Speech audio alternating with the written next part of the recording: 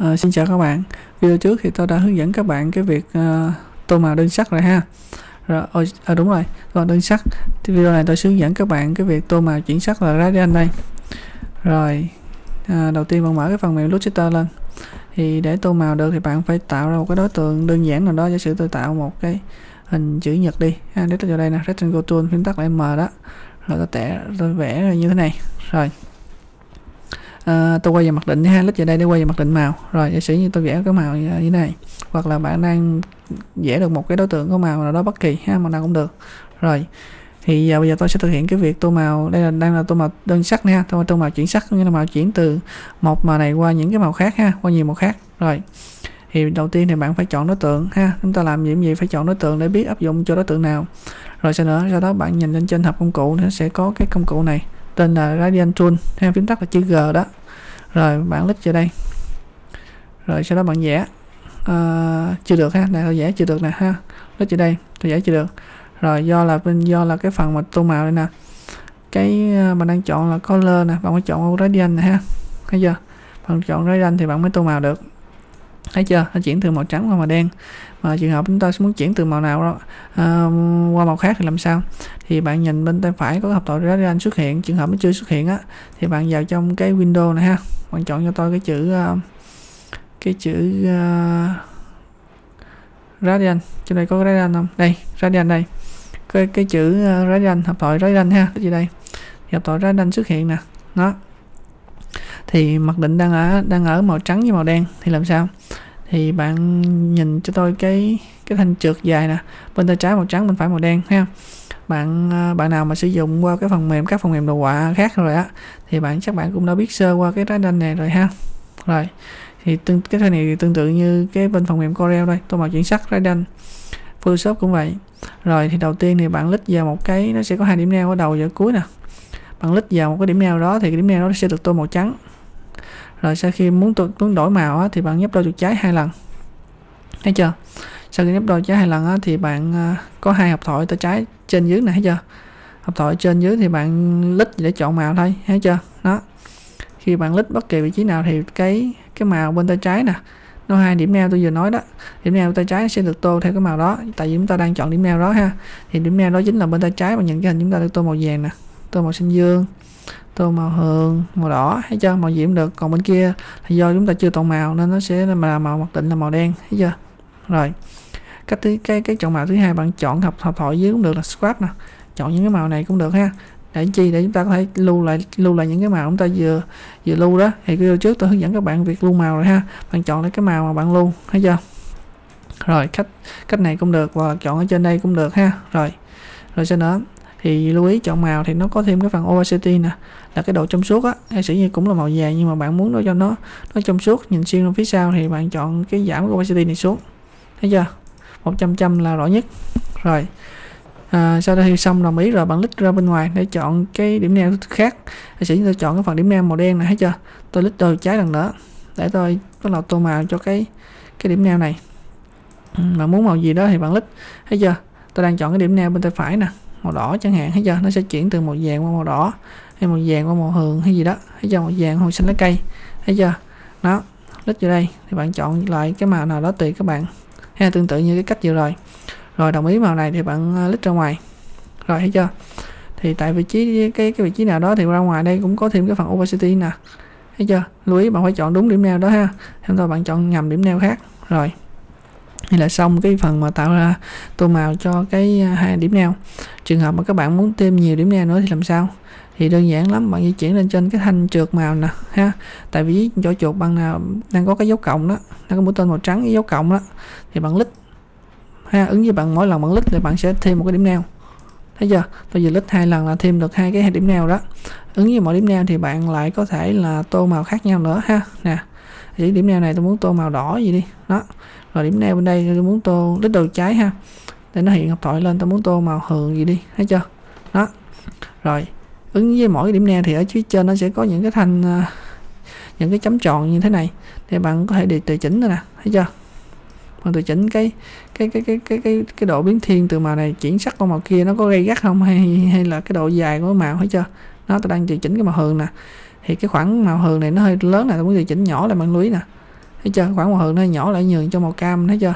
Đó, thì bạn điều chỉnh cái cái cái cái cái điểm điểm chấm màu ở phía trên, ha. Rồi bạn có thể điều chỉnh được cái điểm neo bên dưới luôn, thấy chưa? Chúng ta điều chỉnh được hết. Rồi, bạn hỏi tôi là trường hợp tạo rồi, bây giờ trường hợp muốn xóa thì sao? Xóa thì cũng tương tự vậy, bạn chọn đối tượng đó. Bạn nhấn cái thùng rác kế bên, delete stop ha, xóa cho điểm neo đó rồi trường hợp mà các bạn muốn cái cách tôi làm xóa nhanh hơn thì tôi lít giờ tôi lít giữ trái không buông giờ tôi rơi xuống dưới. Thấy chưa? Là tôi xuống số không được ha hai cách xóa rồi. Đó là xong cái phần này. Tiếp tục lên trên đó, thì bạn sẽ thấy là cái phần này là gì? Chúng ta đang tô màu cho cái fill lít đây là tô màu cho chuyển đổi qua chót nè. Thấy chưa? Nó sẽ chuyển đổi từ fill đây là fill lít đây chuyển qua chót.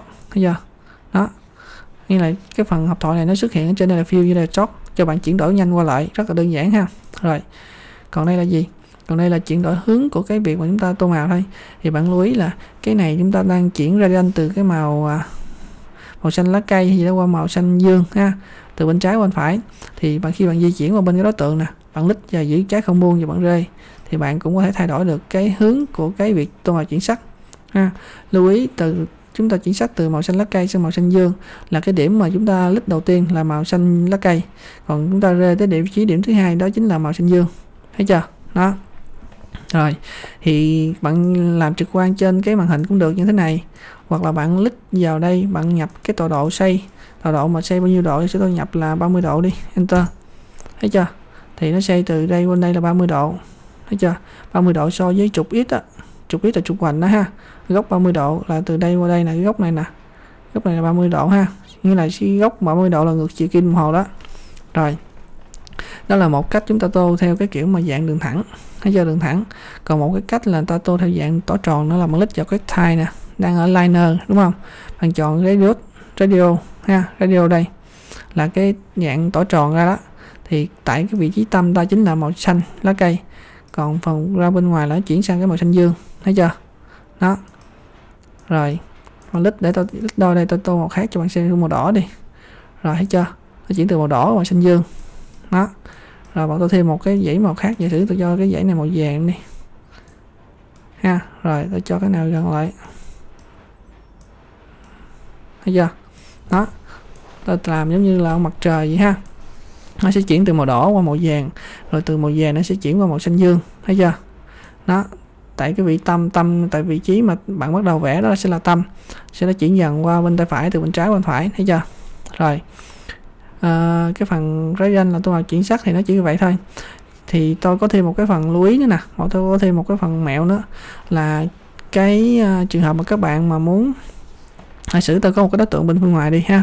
Xử tôi có một cái đối tượng bên à, xin lỗi tôi nhấn Ctrl Z quay lại. Xử tôi có đối tượng bên ngoài là như thế này. Đó uh, delete đi.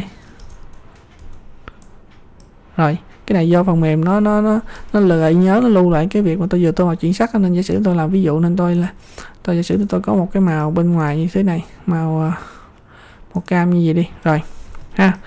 À, giả sử như giờ á bên ngoài tôi đang có một cái màu cam như thế này và tôi muốn tô màu chuyển sắc tôi muốn lấy cái màu cam này thì sao?